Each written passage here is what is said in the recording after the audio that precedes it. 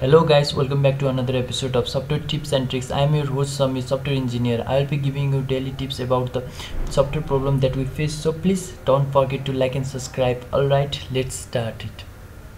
Just go to Visual Studio, just go to Tools, Options, and you will get Project and Solutions. And here you can find our solutions. Click on OK.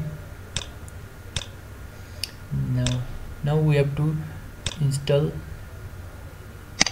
clean project. I'll give that link in the description below.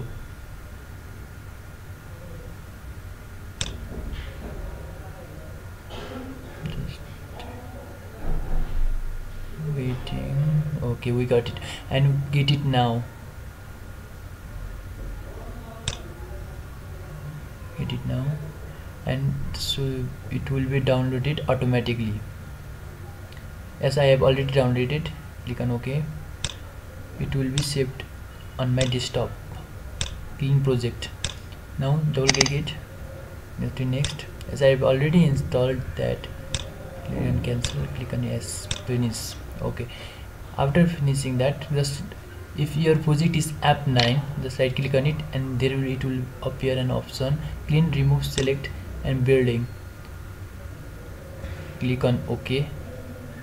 And your project will be appear in your desktop. If this method really help you please like and subscribe. Thank you